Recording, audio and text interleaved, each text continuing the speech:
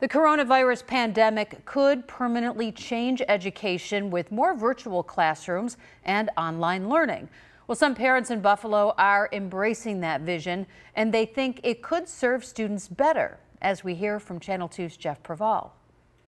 And these parents, they held a virtual meeting earlier today, and their message is clear. They don't want to go back to brick and mortar schools. Several parents with kids in Buffalo schools citing the district's graduation rate of only about 65% and high suspension rates say that their kids are actually performing better learning from home with guidance from their teachers and online curriculum. And they embrace Governor Andrew Cuomo's initiative to reimagine education, something that involves Microsoft founder Bill Gates we are suggesting that we look for ways to make a system that works for the majority of children in this city. And right now, the system we have is not doing that. The parents say they appreciate high quality teachers and don't call for all learning to be done virtually.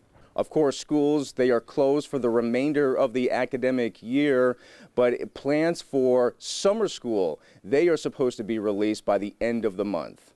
I'm Jeff Preval, Channel 2 News.